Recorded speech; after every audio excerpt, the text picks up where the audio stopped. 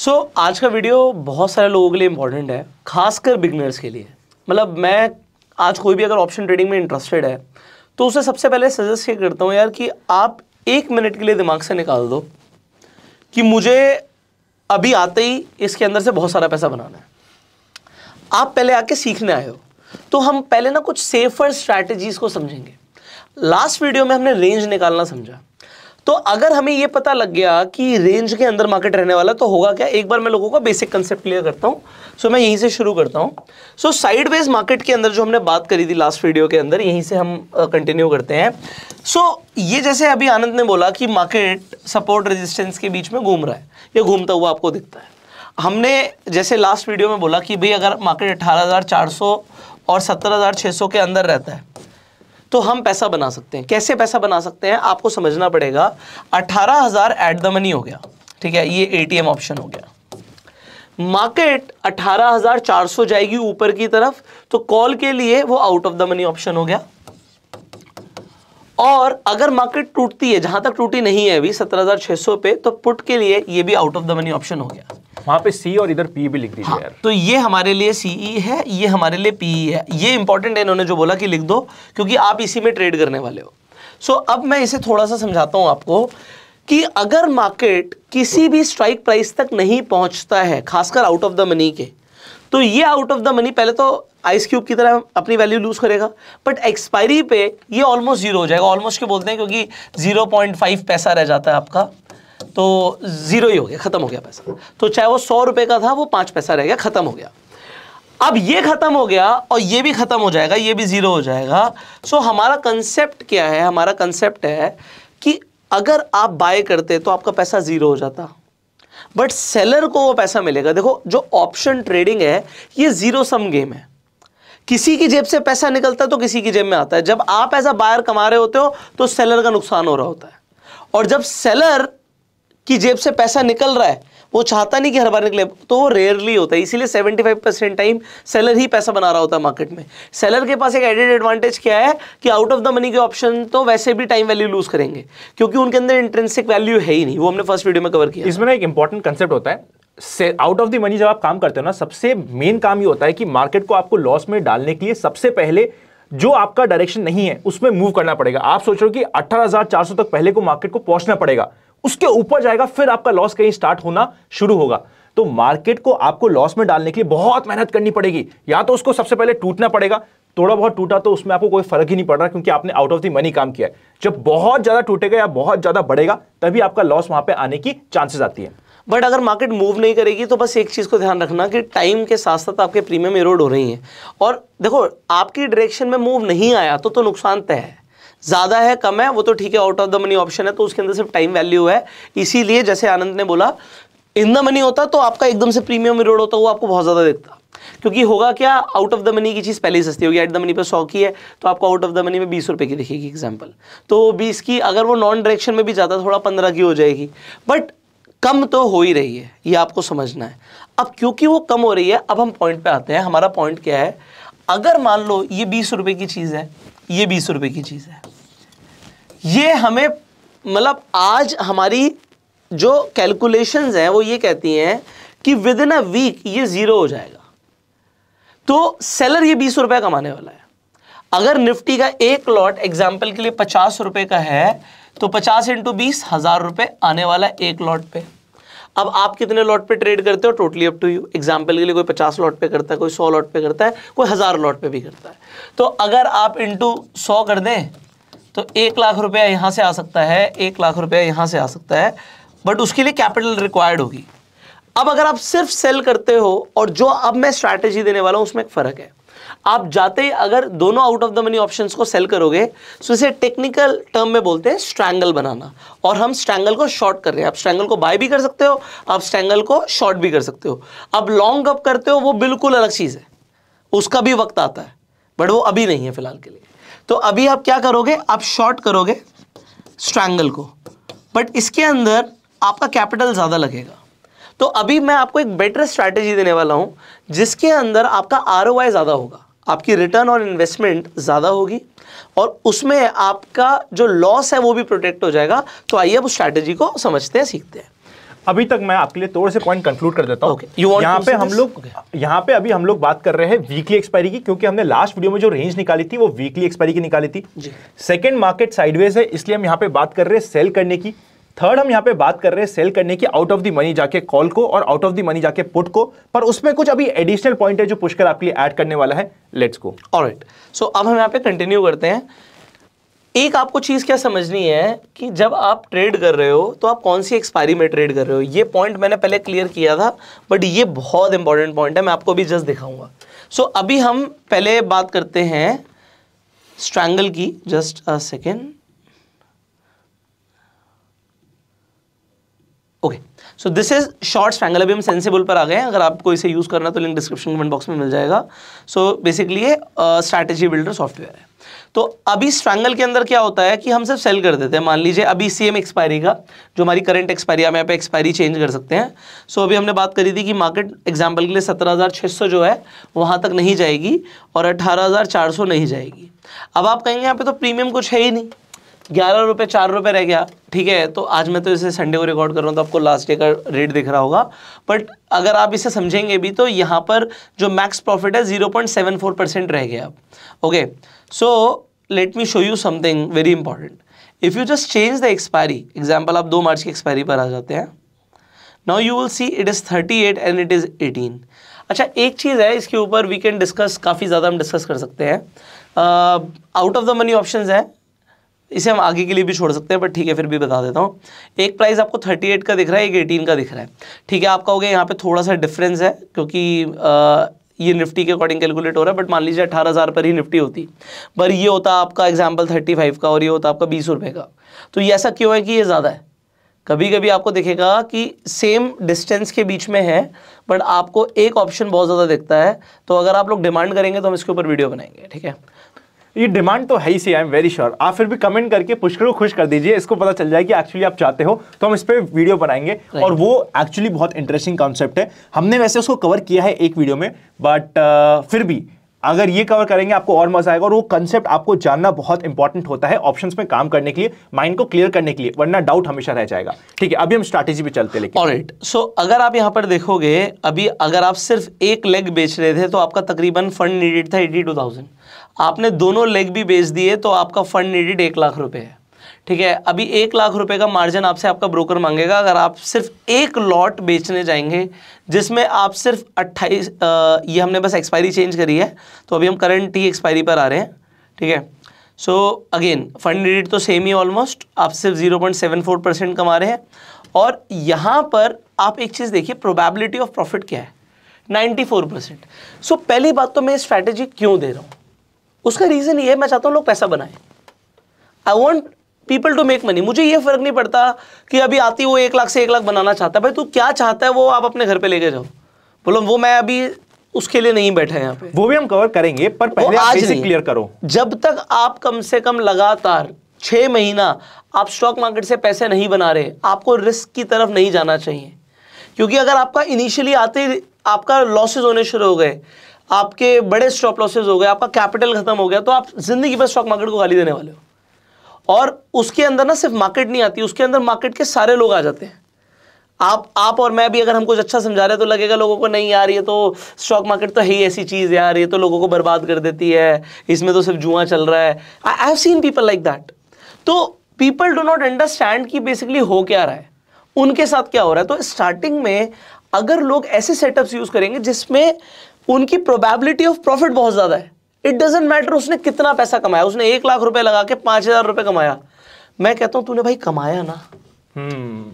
उससे जो कॉन्फिडेंस आएगा ना छह महीने तक तुम लगातार कमा रहे हो। कभी लॉस हो रहा है तो उसे मैनेज कर रहे हो सीख रहे हो एडजस्टमेंट्स कर रहे हो। जो तुम ये सब सीखना शुरू कर दोगे इसके बाद तुम्हें समझ आएगा तुम किस इंस्ट्रूमेंट में ट्रेड कर रहे हो। बिकॉज़ ऑप्शंस जितने लुक्रेटिव लगते हैं यू ऑलरेडी नो कि ये उतनी वॉलेटाइल है। पैसा आता भी उतनी स्पीड से और जाता भी उतनी स्पीड से। और आपकी साइकोलॉजी बहुत ज़्यादा इफ़ेक्ट होती है। क्यों? जब आप इंटर डे में ऑप्शंस को ट्रेड कर रहे हो तो every second your mind is taking a decision but आप जब सेल करके बैठ जाते हो तो आपको पता है भाई ये घोड़ा जितनी दूर भाग ले मुझे पता कहाँ से रिवर्स होना है। So you know a range जब तक कुछ बिल्कुल ही डिफरेंट नहीं होता तब तक कुछ नहीं होना। हम्म। ठीक है? सो so, अब हम इसमें आरओआई भी बढ़ाने वाले हैं। इसके अंदर हम आर भी बढ़ाने वाले लेकिन हैं इसमें ना आपने बहुत अच्छी बात बोली फियर ऑफ़ पेन हमारे दिमाग में ना इतना ज़्यादा हो जाता है कि हम काम करना ही बंद कर देते हैं। बिल्कुल छोड़ देंगे मतलब अगर यहाँ पे अगर एक सॉकेट लगा है उससे करंट आ रहा है पहली बार दर्द होगा दूसरी बार डबल दर्द होगा तीसरी बार और दर्द होगा तो हमारी हिम्मत ही खत्म हो जाएगी हम उसको टच करें या मार्केट में कोई काम करे। तो फियर ऑफ़ पेन आदमी की हिम्मत तोड़ देता है और हिम्मत ही मार्केट में पैसा कमाती है मेरे अकॉर्डिंग तो। आपको बस टिकना है क्रीज पे। देखो यार मैं ये नहीं कह रहा सिर्फ़ यही करना है। No you should know every strategy किस मार्केट में कब क्या चीज़ यूज़ होनी है यही तो सीखना है। आपको रोहित शर्मा की तरह क्रिकेट खेलना है भाई हर बॉल पे वो भी छक्का नहीं मारता वो मार सकता है बट मारता नहीं है क्योंकि उसे विकेट बचा के रखना है। विकेट बचेगा तो सेंचुरी भी मारेंगे वरना पता लगा एक बॉल पे छक्का मारा दूसरे में मारा और आउट हो गए। तो बारह रन बढ़िया है सौ रन बढ़िया है। हमें लंबा जाना है हमें बस आपको बस एक चीज़ समझनी है मुझे मार्केट से आउट नहीं होना यार। ये मार्केट मुझे बाहर निकाल के ना फेंक दे। और मार्केट चाहती है ज़्यादातर रिटेलर्स से पैसा लेना। और वो कौन चाहता है अभी आप समझोगे। चलो अब हमने क्या किया? हमारा यहाँ पे 0.74 आ रहा था, एक लाख रुपए लगा के। अब there is a concept called hedging आप यहाँ पर ध्यान से समझो, यहाँ पे मैक्स अनलिमिटेड है मैक्स लॉस अनलिमिटेड है। मतलब लॉस अनलिमिटेड हो सकता है। लॉस कैसे हो सकता है भाई? एक तो हम इतनी दूर का बेच रहे हैं, फिर भी कैसे लॉस हो सकता है? क्योंकि किसी को पता थोड़ी है मार्केट कितनी ऊपर जा सकती है। पागल हो गई मार्केट जाती जा रही है। तो वो अट्ठारह सौ अगर वो पाँच सौ चली गई तो आपको बहुत अच्छा नुकसान भी हो सकता है। सिमिलरली हमारी रेंज खैर काफ़ी बड़ी है। तो आप देखोगे आपकी प्रॉफिटेबल रेंज बहुत बड़ी है। बट फिर भी आप अगर देखेंगे अगर वो बहुत ज़्यादा टूट गई मान लो यहाँ से मार्केट एकदम से कुछ हो गया मार्केट में और वो सोलह हज़ार पे चली गई सो आपको बहुत नुकसान हो सकता है। सो so, वो नुकसान को हमें प्रोटेक्ट करना है और उसके लिए आ जाती है hedging so there is a beautiful strategy मैं बेसिकली बटरफ्लाई आयरन फ्लाई से पहले लोगों को आयरन कॉन्डोर समझाना पसंद करता हूँ। बिकॉज़ मेरा वन ऑफ़ द फेवरेट ये स्ट्रैटेजी है। और ये स्ट्रैटेजी मुझे लगातार पैसा बना के देती है और ये स्ट्रैटेजी लोगों को भी लगातार पैसा बना के देती है और इसे सिर्फ़ नया आदमी समझने के लिए हिचकिचाता है। क्योंकि ये कॉम्प्लिकेटेड लगती है बट है नहीं भाई। ये कॉम्प्लिकेटेड लगती है बट है नहीं। मैं आपको इसी का आंसर दूँगा। सो so, अब आप अगर आप देखें तो आपका फंड रिक्वायरमेंट यहाँ पर देखो यहाँ पे चार लेग्स आ गए हैं आपके। यहाँ पर आप देखोगे आप चार अलग अलग ट्रेड लेने वाले हो बट आपकी फंड रिक्वायरमेंट एक लाख से सीधा फोर्टी सिक्स थाउज़ेंड रह गई है। मैक्स लॉस जहाँ पर अनलिमिटेड था, अब सत्रह परसेंट का रह गया पर अभी हम चेंज करेंगे। अभी हमें बेचना क्या था? पुट साइड पे सत्रह हज़ार छः सौ बेचना था। अभी हम बना रहे हैं इसे, खुद ही बना लेंगे हम तो। ये ये आपको बाय डिफ़ॉल्ट दे देता है एक। और बाय डिफ़ॉल्ट यहाँ पे आपको प्रोबेबिलिटी ऑफ़ प्रॉफिट और सब कुछ दिखता है। अब हम उससे, मान लीजिए बेसिकली आपको डेल्टा को न्यूट्रल रखना पड़ता है बट फिर भी मैं आपको एक सिंपल सा सेटअप देता हूँ। आप इसे चेंज कर सकते हो। ओके सो अगर आप यहाँ पर अभी देखेंगे सो so, अब आप यहाँ पर समझिए हमारा मैक्स प्रॉफिट 0.81 परसेंट है। मैंने सिर्फ़ 200 स्ट्राइक प्राइस जाके ऊपर खरीद लिया है। उसका एक रीज़न है अभी मैं आपको उसका रीज़न भी बताऊँगा। सो so, अभी हमने 600 बेचा 400 बेचा। मैं जैसे एक्सपायरी चेंज कर दूँगा गेम चेंज हो जाएगी बट फिर भी मैं आपको बता रहा हूँ। 600 बेचा 400 बेचा और उसके बाद 200 पॉइंट ऊपर जाके खरीद लिया और 200 पॉइंट नीचे जाके फिर खरीद लिया। ये खरीदने से क्या होता है? अगर आप यहाँ पर देखो यहाँ पे आपका जो लॉस है ना इसके बाद यहाँ पे इसके विंग्स लग गए। सो ये विंग्स लग गए तो ये आपका अब अनलिमिटेड लॉस नहीं होने देगा। So this concept is known as iron condor where you sell जो आप स्ट्रैंगल बना रहे थे, बस उससे कुछ स्ट्राइक प्राइस ऊपर जाके आप खरीद लेते हो। अभी हमने एक जर्नल व्यू के लिए, लोग कंफ्यूज ना हो तो 200 पॉइंट ऊपर जाके खरीद लिया फ़िलहाल के लिए। Now you if you just change the expiry here now see the magic आपका लॉस 18 परसेंट का आ गया, आपका प्रॉफिट 3.2 परसेंट का आ गया। अभी हम यहाँ पे रिस्क टू रिवॉर्ड रेशियो की बात जस्ट अभी नहीं कर रहे। रिस्क और रिवॉर्ड रेशियो कई लोगों के हिसाब से मैच नहीं करता। से आनंद कहते हैं कि भाई मैं तो उन स्ट्रैटेजीज में काम करता हूँ जहाँ पे रिस्क चलो तीन गुना हो रिवॉर्ड एक गुना भी हो, इससे ज़्यादा नहीं, क्योंकि क्रेडिट है, आपको क्रेडिट स्ट्रैटेजीज बना रहे हो, आपको पैसा स्टार्टिंग में मिल रहा है। Probability of profit seventy eight percent है, पर अब हम ये कर क्या रहे हैं? आनंद, ये there can be a question मैं आयरन कॉन्डोर कर रहा हूँ। मेरा फोकस है सिर्फ़ इसी हफ़्ते का। मैं इसी एक्सपायरी तक की रेंज निकाल के काम कर रहा हूँ बट मैं एक एक्सपायरी आगे जा रहा हूँ। मैं इस एक्सपायरी का ऑप्शन नहीं बेच रहा क्योंकि इस एक्सपायरी का ऑप्शन तो पहले ही खत्म हो चुका है। If you just see so यहाँ पर ये थर्टी एट रुपीज़ का है बट एक एक्सपायरी अभी जो करंट एक्सपायरी यहाँ पे ग्यारह रुपए का है। तो ये पहले ही खत्म हो चुका है। सो so, मेरे दिमाग में क्या चल रहा है मैं आपको ये बताता हूँ। मेरे दिमाग में ये चल रहा है कि भैया मैं ना ये थ्री पॉइंट टू परसेंट भी नहीं लेना चाहता। एग्ज़ाम्पल के लिए मेरी जो क्वांटिटी होती है मैं एक, एक जनरल क्वांटिटी बता रहा हूँ ठीक है? तो this is my minimum quantity जिसमें मैं ट्रेड करता हूँ। यहाँ पे मुझे दिख रहा है चलो मेरा फंड रिक्वायरमेंट 1.7 करोड़ का है ठीक है? मुझे पता है यार साढ़े पाँच लाख रुपए आने हैं बट मैं साढ़े पाँच लाख के लिए ट्रेड नहीं कर रहा क्योंकि मुझे पता है इसी एक्सपायरी के अंदर अगली एक्सपायरी का ऑप्शन जो है वो पचास परसेंट से ज़्यादा टूट ही जाएगा अगर वो रेंज में भी रहा तो। So if just I go one expiry forward this premium will erode वो तो ज़ीरो होना है, ये ज़ीरो नहीं होगा। बट ये भी फिफ्टी परसेंट से ज़्यादा मेल्ट हो जाएगा। तो मैं क्या चाह रहा हूँ यार, मुझे थ्री पॉइंट टू छोड़ो। मुझे वन पॉइंट सिक्स परसेंट ही मिल जाए। क्योंकि इस एक्सपायरी पे तो मुझे 1.6 परसेंट भी नहीं मिल रहा यू जस्ट सी इस एक्सपायरी पे तो हमें 0.8 परसेंट मिल रहा है। बट मैं इससे डबल ले रहा हूँ। उसी रेंज के अंदर काम करके। Okay okay okay got your point अब मैं समझा अब मैं समझा। मतलब आप काम वो एक हफ़्ते के लिए करना चाहते हो जो हाँ. आपका पहले इनिशियल माइंडसेट था हाँ. पर अगर एक हफ़्ते में मुझे पर हफ़्ते अगर एक परसेंट डेढ़ परसेंट बच रहा है तो वो बहुत बड़ा पैसा बच रहा है।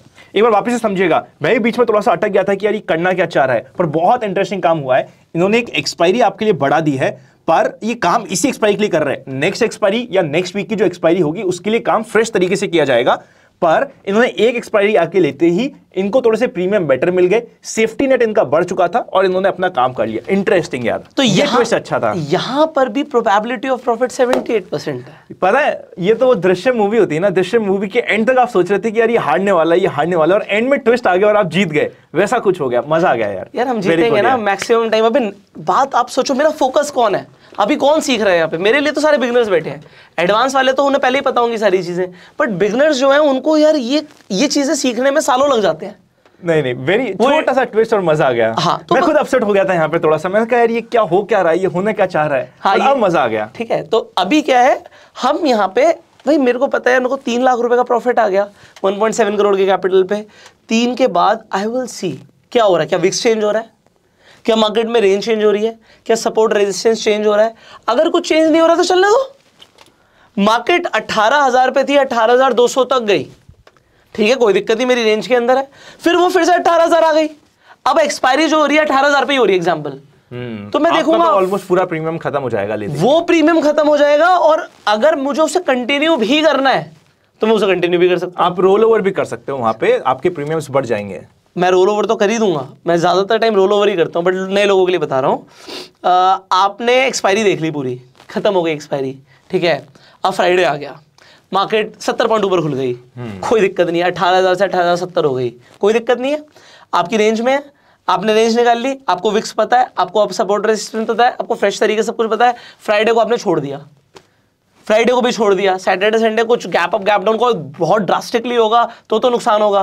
अगर वो ड्रास्टिकली नहीं हुआ तो मंडे को ये सेवेंटी एट्टी परसेंट रोड मिलेगा। नौ बज के साढ़े नौ के बीच में ऐसे प्रीमियम गिरेंगे ना इसके आउट ऑफ़ द मनी के। जो सेलर होगा उसको मज़े आएँगे सिर्फ़।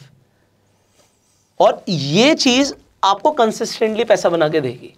सो so, अभी हम क्या समझ रहे थे? हम एक आयरन कॉन्डो स्ट्रैटेजी समझ रहे थे। स्ट्रैंगल में ही सिर्फ़ एक सेफ्टी लेते ही आप आयरन कॉन्डोर बना देते हो। ठीक है? और उसके अंदर इंपॉर्टेंट क्या है? इंपॉर्टेंट ये नहीं है कि मुझे तीन परसेंट मिल रहा है या डेढ़ परसेंट मिल रहा है। इंपॉर्टेंट है सेवेंटी एट परसेंट मतलब मेरी इंट्रेंसिक प्रोबेबिलिटी ऑफ़ विनिंग किसी चीज़ की पिछहत्तर परसेंट से ज़्यादा आ रही है। कि अगर मैं बेट लूँगा तो मैं जीतूँगा। ये मुझे मेरा सिस्टम बता रहा है, मेरा सॉफ्टवेयर बता रहा है और मेरी कैलकुलेशंस बता रही है कि यार, अगर ये बेट तो पुश कर लेगा तो जीतेगा। तो अगर आपको किसी चीज़ पे इतना यकीन आ रहा है तो आप उसे स्टार्टिंग में लीजिए। और जब ये फेल होगा तो इसी के एडजस्टमेंट्स होते हैं। और अगर फेल होता भी है तो क्या मेरा पूरा कैपिटल चला जाएगा? ये 18 परसेंट मैक्स साइड है यार, कि अपना पागलों की तरह मार्केट किसी डायरेक्शन में चली गई। तो तो नुकसान होगा। और 400 पॉइंट भी मार्केट के लिए बढ़ना it is not too easy 400 point टूटने के बाद भी और टूटना it is not too easy ये साल में एक या दो बार ही होना है। और अगर ऐसा होगा तो हम क्या देखते रहेंगे मार्केट को? हम क्या अपनी पोजीशन लेके देखते रहेंगे? तो जब डायरेक्शन में जा रही होगी तो डायरेक्शन कैच नहीं करेंगे। तो डायरेक्शन भी कैच करनी है। तो अगली वीडियोस में आपको डायरेक्शनल स्ट्रैटेजीज भी मिलने वाली हैं। अमेजिंग और ये वीडियो में जस्ट कंक्लूड करते हुए आपको बताता हूँ स्पेशली अगर आपकी जॉब चल रही है बिज़नेस चल रही है और आप कह रहे हो कि भाई मेरे पास टाइम नहीं है तो ये होती है आपके लिए स्ट्रैटेजी जिसमें आपको टाइम इन्वॉल्वमेंट बहुत कम देना है। हफ़्ते में या दिन में आपने एक बार भी देख लिया ना मोर देन इनफ हो जाता है। हफ़्ते में एक बार स्ट्रैटेजी बनाई दिन में एक आध बार देख लिया, जब भी टाइम मिला और नहीं भी मिला, तब भी आपको कोई टेंशन नहीं होगा, क्योंकि मेजॉरिटी टाइम आपका जो मैक्सिमम लॉस है वो कैप हो रखा है। रेगुलर इनकम बिकॉज़ आपने नेट में सेलिंग कर रखी है, अगर हम प्रीमियम वाइज बात करें तो वो आपको मिलता रहेगा। तो ये हो गई आपके लिए एक अमेजिंग स्ट्रैटेजी लाइक कर दीजिएगा वीडियो को। अब हम डायरेक्शन की भी बात करेंगे और एडजस्टमेंट की भी बात करेंगे, अगर इस वीडियो में हमें आपकी तरफ़ से रिस्पॉन्स मिलता जाएगा। Happy learning and we will see you very soon